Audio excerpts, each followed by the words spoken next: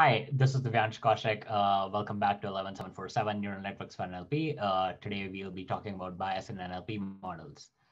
Uh, so for years, uh, our community has been training models successfully to exploit any signal in the input data to make accurate predictions that generalize, even to unseen data from the same distribution. Uh, however, researchers and the public more broadly have grown alarmed that these models do not know what truly makes a label applicable uh, instead relying on any signal, including so-called spurious associations, to make accurate predictions. Uh, however, these terms hold no formal meaning in the standard ML framework. Uh, you know, it's it's not clear what precisely constitutes a spurious correlation, or why a model should not rely on it in the first place. Uh, but there are some features uh, that we as humans know are wrong for us to rely upon in certain decision-making contexts, uh, such as relying upon one's gender uh, to determine whether we should offer them a computer programming job or not would be wrong. So why are these issues important to discuss from a modeling context? Well, there's the idea of procedural fairness that decisions should be based on uh, qualifications, not on distant proxies uh, that are spuriously correlated with the outcome of interest. Uh, you know, if you train a model to predict whether to hire someone, but it turns out that the training data has historical societal biases encoded in it. Uh, it would be wrong for the resulting model to rely on various attributes like age or gender or race or you know, nationality of a person in determining whether they should be hired for a job or not. Uh, and similarly, we have the idea of distribution shift that we expect our models to not fail under unseen distributions. So consider the simple example of sentiment analysis. Uh, you know, if you train a sentiment analysis model on movie reviews and it assigns, say, positive sentiment to words uh, indicating romantic genre and negative sentiment to words indicating horror genre. Uh, now, those models would break if you deploy them in different settings, say on kitchen appliances, where words like horror or romance uh, have no meaning. So what kind of issues do we broadly observe in NLP? Well, for one, uh, some of our training tasks may fail to represent reality. For instance, in this paper, we uh, showed that passage-based question answering models will, we expect them, uh, you know, we expect models to look at both passages and questions uh, before they predict the correct answer. But it turns out that these models can actually predict the answers by ignoring questions altogether. And in another paper, uh, it was shown that in similar uh, settings in passage-based question answering, if you add a distractor phrase at the end of the passage, and the distractor phrase has nothing to do with whatever else is being said in the passage, uh, and, and you pass on that uh, passage and the question to the model, uh, the model often flips its predictions altogether, which is concerning. Uh, then there's bias towards protected attributes. Uh, you know, a couple years ago, it was found that when translating gender-neutral Turkish sentences into English, uh, Google associates uh, he, she pronouns with predominantly and stereotypically male, female-dominated jobs. Like she's a cook, he's an engineer. He's a doctor, she's a nurse. He's a cleaner, uh, she's a teacher, etc. And then we have biases and human annotation. Uh, for example, researchers have found that uh, toxicity classification datasets are biased against the LGBTQ community. Uh, and these types of biases can arise from a combination of possibly underspecified annotation guidelines where crowd workers either do not understand what the task entails or you know may not know what is being what is expected of them and it could also come from the positionality of the uh, annotators themselves. So positionality is the social and political context that creates your identity in terms of race, class, gender, sexuality, and ability status. Uh, positionality also describes how your identity influences and potentially biases your understanding of and outlook of the and outlook on the world.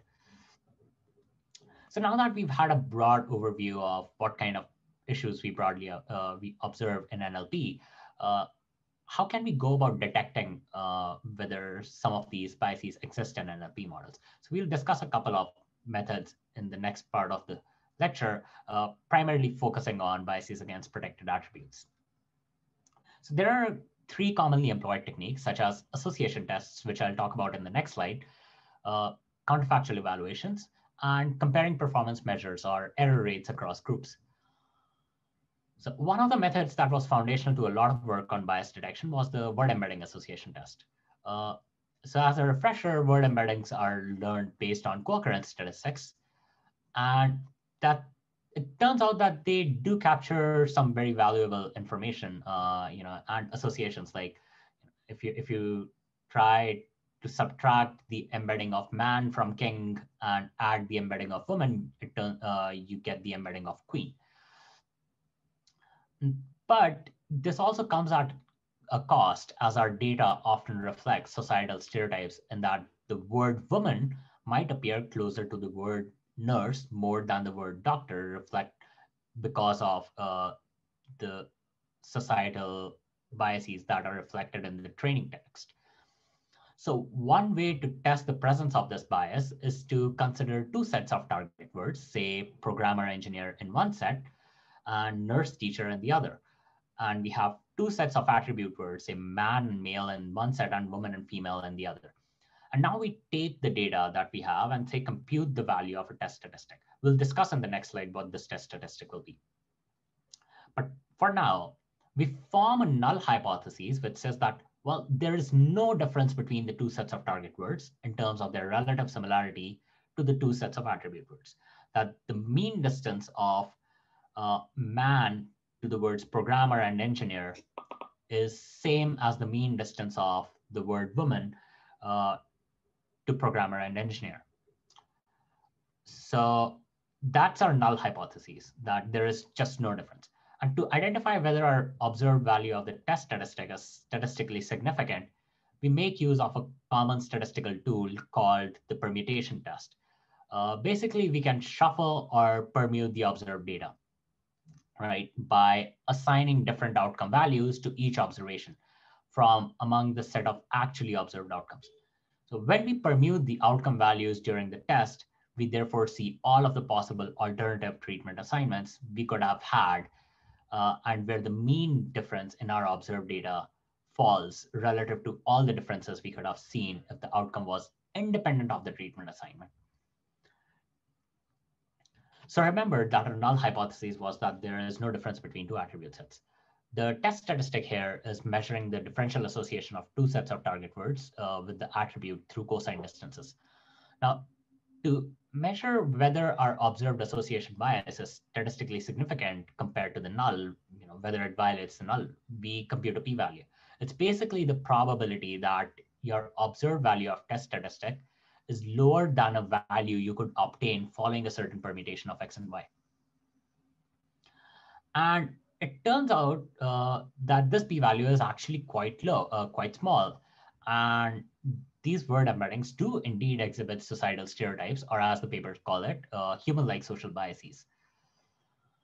There's another work in which uh, a similar test is conducted, but instead of using distance between words, they do so at a sentence level by constructing certain semantically bleached sentences that convey little meaning outside of the terms inserted into them. So uh, in this case, target concepts can be, say, European names like this is Katie, this is Adam, or African American names, Jamal is here, that is Tia. And attributes can be uh, pleasant uh, or unpleasant. For instance, this is love or this is evil, right? And you want to measure, uh, you want to run the association test on these target concepts and attribute sets.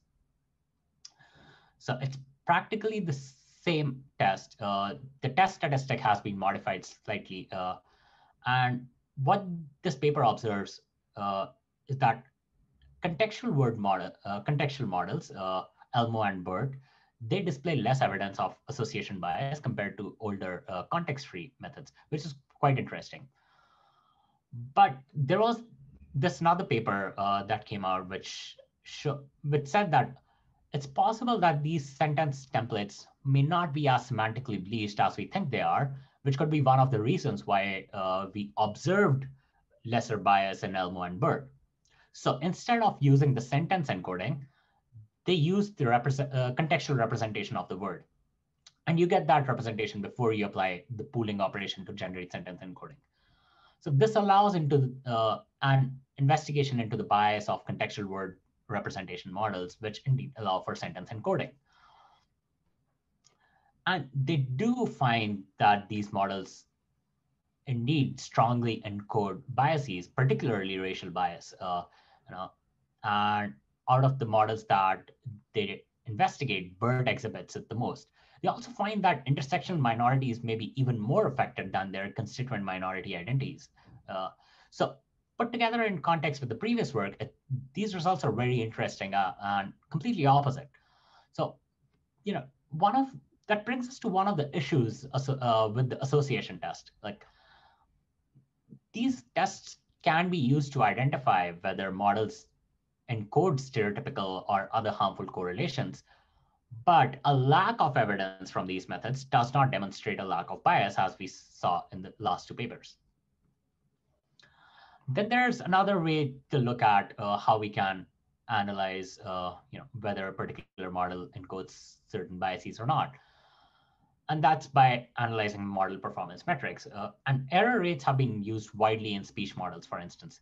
Uh, the background behind this is the inspiration from US labor law that the US labor law defines disparate impact as uh, practices in employment, housing, and other areas that adversely affect one group of people of a protected characteristic more than another, even if unintentionally. And it says that's wrong. Okay, so loosely speaking, algorithms would exhibit impact disparity when outcomes differ across subgroups. Uh, and one way to identify this disparity in NLP systems is by comparing uh, performance measures such as error rates, uh, false positives, false negatives, etc., across groups. So in this paper, uh, the authors looked at ASR systems from five companies, uh, Amazon, Apple, Google, IBM, and Microsoft, and found that all five systems performed significantly worse for Black speakers than they did for white speakers.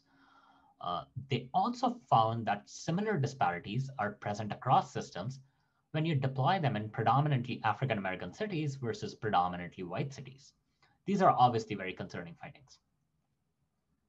And then there's another approach that people use to identify whether models exhibit bias against certain groups of people, which is by basically picking text and flipping relevant attributes while keeping everything else the same. So, you know, you would pick a sentence, you would flip, say, the gender pronouns. Uh, so, for instance, in this paper, to detect gender bias in co-reference resolution, uh, what they did was exactly this. They picked sentences, they flipped the gender pronouns, and saw how co-reference resolution systems changed their predictions. And it turns out that oftentimes they completely change predictions based on which pronouns are used. And they the authors evaluate and confirm the systemic gender bias in three publicly available co-reference resolution systems.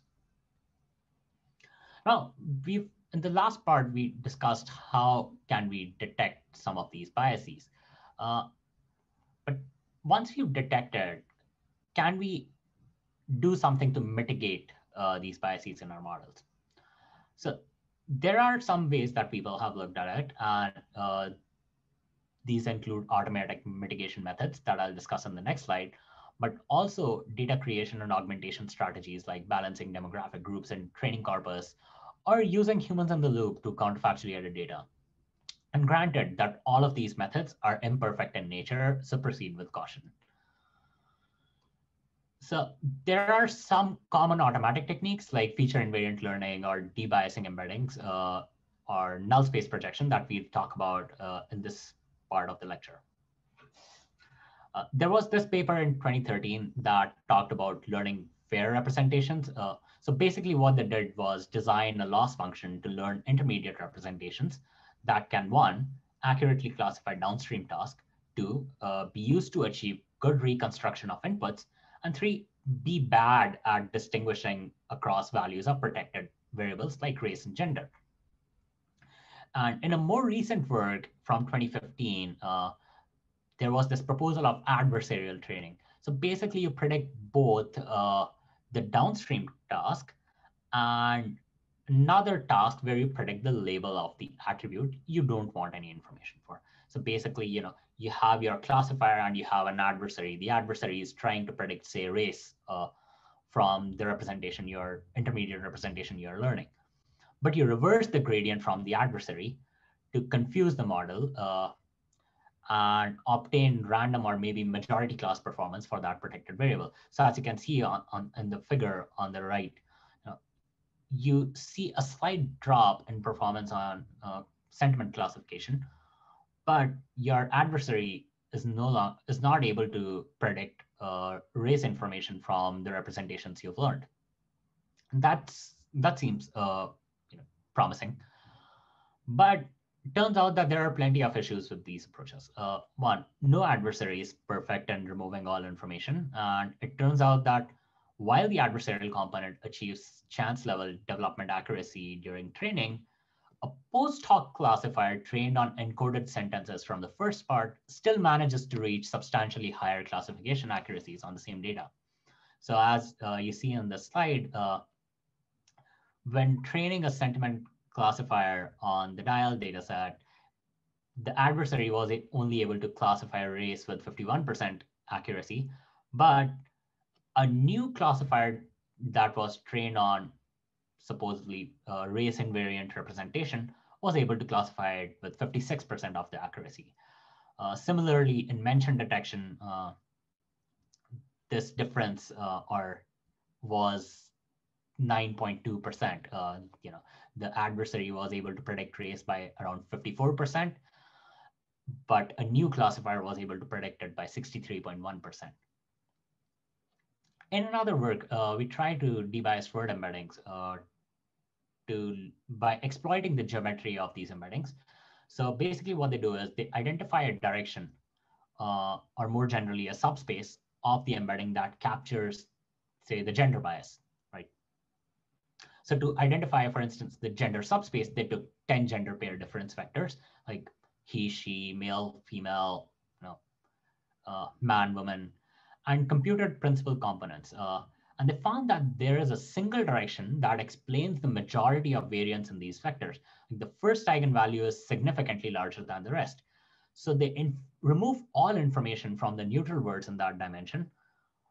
And you can either identify these said neutral words using a predefined dictionary, or they also show in the paper that you can use an SVM classifier uh, that separates neutral words from gender words in the embedding subspace, uh, in the embedding space. So following this neutralization operation where you've removed uh, information from one dimension, uh, and you have two options. You can either enforce the property that any neutral word is equidistant to all words in the equality set. Uh, you predefine the equality sets. For instance, like grandfather and grandmother is one set, and you want uh, a neutral word like babysitting to be equidistant from both elements of that set and you can have a parameter you know uh, so that's that's one way to do it or the other way is to have a parameter that controls the trade-off between reducing the differences between equality sets while maintaining as much similarity to the original embeddings as possible, uh, which is called soft. Uh, you know, that method is called soft. So the former method, equalize, it has some issues. Uh, like as we discussed earlier, like consider grandfather and grandmother as one equality set. Also consider guy and gal as another equality set. So the equalization would make baby set equidistant to grandmother and grandfather, and also equidistant to gal and guy, but presumably closer to grandparents and further from the gal and guy. However, it would also remove certain distinctions that are valuable in certain applications. Uh, for example, grandfather regulation has a meaning that grandmother regulation does not. Uh, and soften, on the other hand, can be, can be a solution to such issues. But there are problems with this method as well, uh, as found in this paper, even after debiasing with the methods proposed in this previous paper, uh, embedding clusters still align with gender with over 85% accuracy compared to an accuracy of 100% with the biased version. And so this paper leads to the conclude uh, finds that you know gender bias is still embedded in the representation even after debiasing. So how is that happening? Uh, they try to observe what might be happening in, uh, even after debiasing is that uh, we may not directly observe the bias anymore as it's been obscured, but it hasn't been removed. So the word nurse, you know, is no longer close is no longer close to explicitly marked feminine words, right? But it's still closer to other stereotypical words like receptionist or teacher or caregiver. Uh, and then there's this approach of uh, learning invariant representations, uh, which is the iterative null space projection. Uh, it's a recent paper. Uh, it builds on similar foundations, but tries to address some of the concerns. So the philosophy is, this, is similar that we want to learn a model such that the representations learned, uh, you know, the intermediate representations cannot be used to predict the label of a protected category by any linear classifier in this case. So they make the assumption of a linear classifier. Uh, so say you have a BERT model and you take the CLS representation, you don't want uh, any linear classifier trained on this representation to be able to predict, say, gender or race. But at the same time, you want this representation to be informative enough for a different classifier to be able to perform well on the actual downstream task. So the way they do it is that they first train a linear classifier on top of the intermediate representation such that it predicts the protected attribute with good accuracy. Okay. So W is the weight matrix of this classifier C. Uh, the linear interaction between W and say when you get a new point X has a it has a very simple geometric interpretation. X is projected on the subspace spanned by W's rows and is classified according to the dot product between x and w's rows, which in turn is proportional to the components of x in the direction of w's row space. So if we zeroed all components of x in direction of w's row space, we would have removed all information used by w for prediction. You know, that is the decision boundary that uh, was found by the classifier would no longer be useful for it. So uh, but we also know that the orthogonal component of the row space is the null space. So zeroing those components of X is equivalent to projecting X on W's null space. And if we continue, if we do it iteratively until convergence, uh, you know, that is like a newly trained linear classifier is unable to predict the property, it can help us learn representations that are good for the downstream task, but do not aid in predicting demographic information. The reason to do it iteratively is that the null space of a single linear classifier does not suffice for making Z linearly guarded. And as we see in the figure in the slide, it turns out that the method does work somewhat better. Uh, and the embeddings uh, look pretty, you know, declustered. Uh, so yeah. And then there's the idea of automatic data augmentation. Uh, you know, uh, where so there was this one paper in 2018 uh, where what they did was they programmat they programmatically uh, altered text to invert gender bias.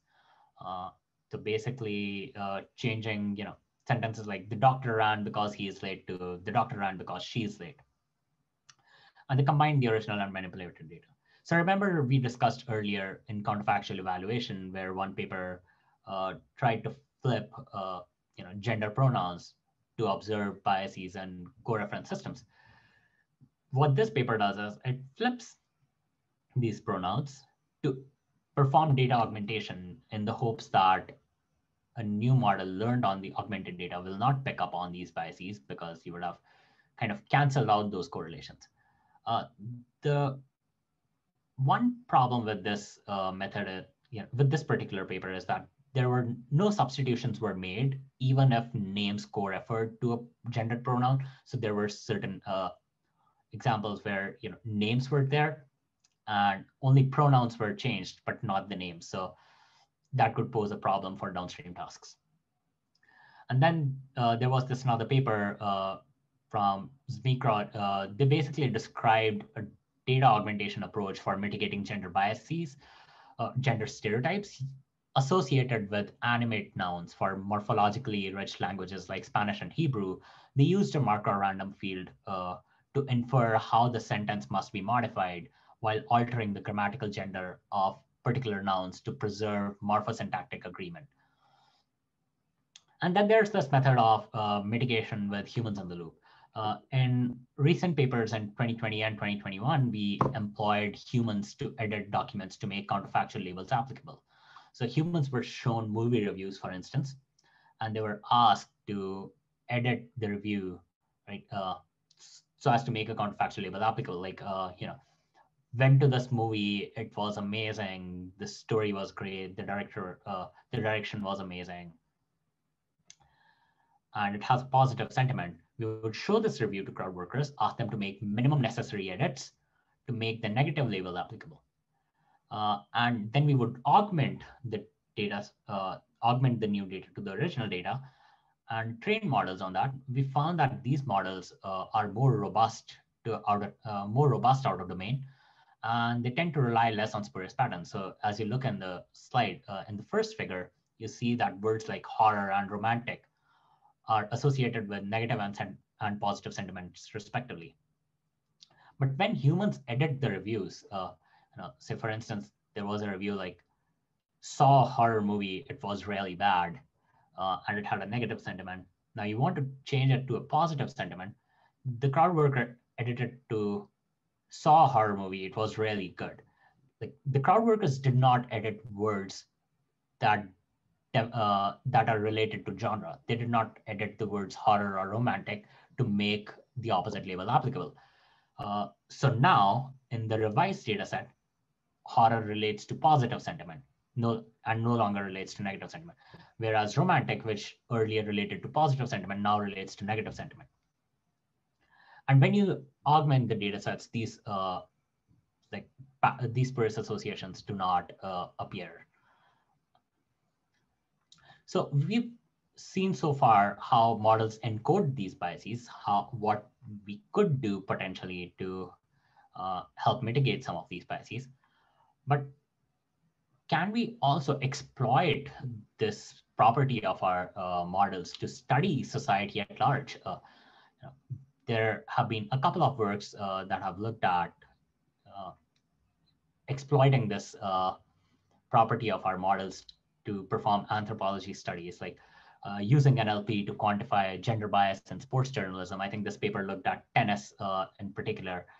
And there was another paper related to sports that looked at uh, using NLP to study racial bias in sports commentary, looking at NFL, like um, black players were words like giant and uh, words like giant were used for black players, whereas intelligent were used for white players. Uh, in the NFL.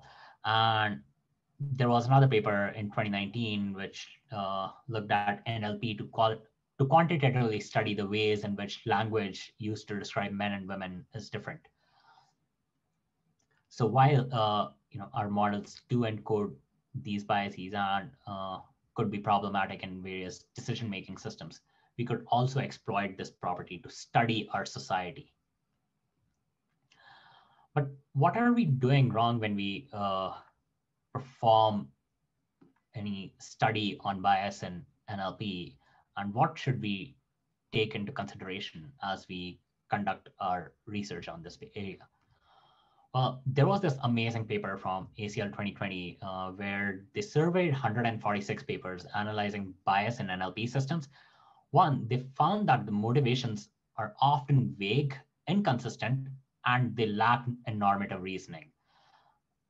They also found that there was a clear mismatch between motivations and proposed quantitative techniques uh, for measuring or mitigating bias. And they also found that papers often do not engage with relevant literature outside of NLP, whether it's in philosophy or psychology, etc. So they make some recommendations on how to conduct work analyzing bias in NLP. One, they say ground your work in relevant literature outside of NLP. You know, be forthright about the normative reasoning underlying your statements uh, and provide explicit statements of why the system behaviors that are described as bias are harmful, in what ways they are harmful, and to whom are they harmful. Also, engage with the lived experiences of members of the communities affected by the NLP systems. Interrogate and reimagine the power relations between technologists like ourselves and such communities. Uh, there was also this uh, another paper from 2020 itself uh, where they took a sample of around 150 papers from the ACL anthology that mentioned the word gender uh, and coded them according to some questions like, well, does the paper study co-reference resolution? Does it study English? Uh, does it deal with linguistic gender? Does it deal with social gender? Does it distinguish linguistic from social gender? Uh, does it include mentions of the words, uh, mention of neopronouns or uh, you know singular they? And there are many more questions uh, that are not present on the slide. So what they find is that 22 papers looked at co-reference out of the 150 that they uh, surveyed. Only 5.5% of those distinguished social from linguistic gender, despite its relevance. Only 5.6% explicitly modeled gender as inclusive of non-binary identities. Uh, no papers treat gender as anything other than completely immutable, and only one paper uh, considers neopronouns and our specific singular they. So that's very problematic. Uh, and if you would have noticed, like many of the papers discussed in this lecture also focus primarily on a binary notion of gender. So that's something that uh, we should take into consideration when we work on similar topics. Aside from all the things that we can learn from the uh, from the papers that we've discussed so far, there are some other things that we should really keep in mind and consider. Uh, and one of them is that well-intentioned works can have dual impacts, uh, right? So for instance, advanced grammar analysis can help improve search and educational NLP, but also reinforce prescriptive linguistic norms. Uh, stylometric analysis can help discover provenance of historical documents, but also unmask anonymous political dissenters. Uh, text classification and information retrieval can help identify information of interest, but also aid censors. And NLP can be used to identify fake reviews uh, and news, but also to generate them. So these kinds of problems are difficult to solve, but important to think about, acknowledge, and discuss. Uh, in addition to the papers that we've discussed in this lecture, I'll also recommend some other resources that are in the slide. The top two papers uh, provide additional methods, uh, they discuss additional methods to try and mitigate, uh, you know, gender and racial bias. Uh, the top one looks at machine translation, uh, uh, and the second one looks at dialogue. And then there are some other papers and videos uh, that I think you all can read that are very interesting. Thank you very much.